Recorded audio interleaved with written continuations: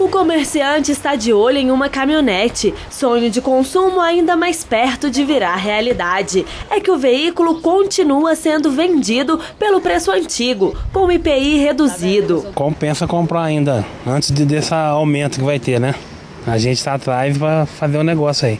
IPI, Imposto sobre Produtos Industrializados, voltou a ser cobrado de forma gradativa. 90% dos carros brasileiros estão dentro da categoria Motor Flex 1.0 e 2.0, com a alíquota de 7% neste primeiro trimestre e para o segundo trimestre de 9%. Nessa concessionária ainda tem estoque livre da tributação. Já recebemos já a tabela nova, mas assim, não, não, não tivemos o aumento é, verdadeiro. Acho, houve uma absorção da parte da montadora, né? Isso é muito bom para o consumidor. Em 2012, as vendas da montadora ficaram em torno dos 8 milhões e 800 mil veículos, um aumento de 4,7% em relação a 2011. A isenção do imposto foi uma das responsáveis. Graças ao IPI, nós tivemos aí uma, uma continuidade nas vendas que nós né, é, que não poderia eh, ter acontecido se o IPI não tivesse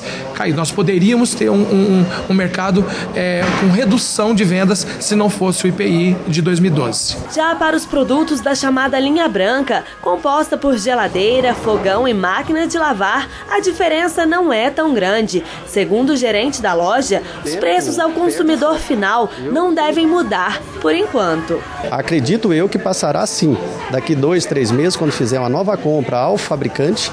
E aí sim, o fabricante vai tirar o IPI lá na fonte e aí sim as empresas repassarão esses preços ao consumidor. A partir de julho, as alíquotas normais voltam a funcionar, exceto no caso das máquinas de lavar roupa. Por ser considerado um dos itens de desejo das donas de casa, em pesquisa foi constatado que 50% dos lares brasileiros não têm a máquina de lavar. Com menor preço, comprar sempre fica melhor. A máquina é muito boa, né?